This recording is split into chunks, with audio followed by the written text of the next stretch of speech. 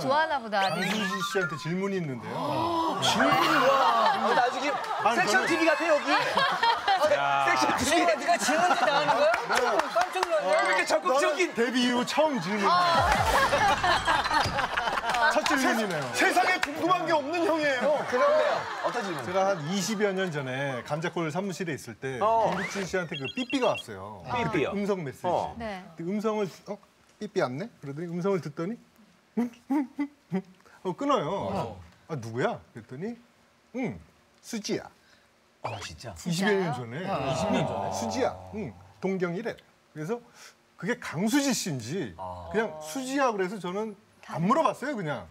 근데 일본 진출하셨었잖아요. 네, 거기서 2년 반 살았죠. 그죠, 맞아. 근데 오빠랑 기억은 잘 안 나는데 메시지를 주고받는 사이였나? 90년대 한 초부터 연락은 하면서 지낸 것 같아요. 아 그럼 그 음성이 강수지 씨고 맞군요. 일 수도 있는데 기억나세요? 아 그게 뭐냐면 당시에는 최수지 씨도 있었거든요. 아, 그럼 저 아닌가 봐요. 어, 누나 예민해.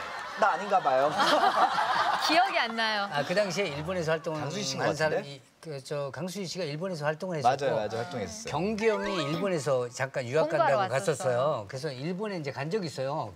갔을 때 이제 강수 씨 만났어요? 당시에? 일본에서 저기 뭐 뭐 여기서 활동 잘하니 이렇게 해서 그때 커피 사줬던 기억이 나는데. 다 기억하고 계시네요, 형. 그렇죠. 일본에서 활동할 때 김국진 씨가 매니저랑 저랑 한번 만난 적이 있어요. 음. 그러면 전혀 두 사람이 관계 없는 사이는 아니었네. 정말 무슨 궁금한 게 그랬겠어요. 예. 비밀 연애 하실 때 오늘따라 뭐 이렇게 궁금한 게 많아. 비밀 연애 하실 때 그런 거 있잖아요. 카메라 사람들 안 보이게 몰래 이렇게 손 잡으신다거나 이런 거 어, 그런 적이 있- 그런 거는 한 없- 번도 한 번도 없지. 없었거든요. 아, 약간 그냥 서- 좀 아쉽다라는 생각이 들었어. 이제 사귀고 나서 불타는 청춘을 하는데 딱 갔는데 정말 아, 최국진이 와 있는 듯한 느낌이었어요. 다른 곡. 다른 네. 사람처럼.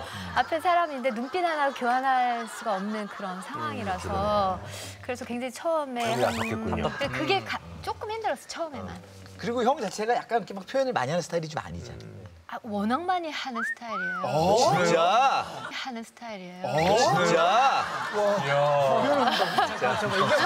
자 혹시 사람이 변하면 가는데.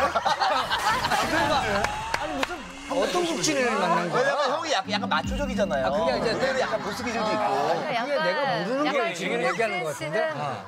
나무 같아요. 한 500년 된 나무. 그래서 굉장히 흔들림이 없죠. 항상 그 자리에 있고. 음. 강하다고나 할까? 그런데 이 포플러 나무 같은 게 바람이 이렇게 하늘하늘 거리잖아요. 음. 그런 부드러운 면이 그 강함과 반반 있어요.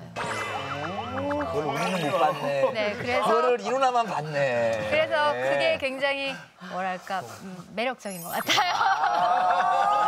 매력적인 것 같아요.